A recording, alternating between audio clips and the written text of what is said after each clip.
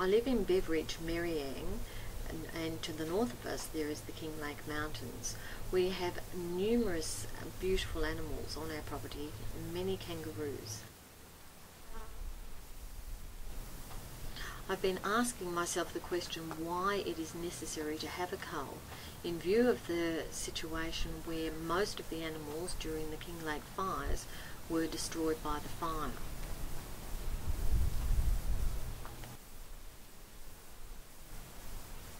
The decision on the cull has been made by a faceless bureaucrat who has no connection with the community or the local council.